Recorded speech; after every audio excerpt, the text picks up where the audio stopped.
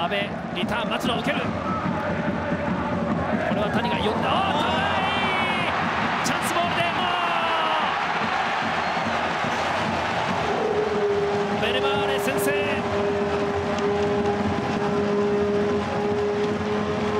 まあ、谷は松野をブロックしながら右足で処理に行きました。横で小野瀬石原へ。ルーズボールチャンス町野チャンスボールがこぼれてきました。湘南2対0長木のキック。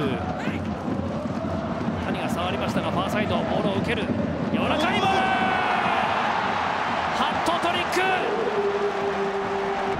石原抜けてきた。これはオフサイドフラッグ。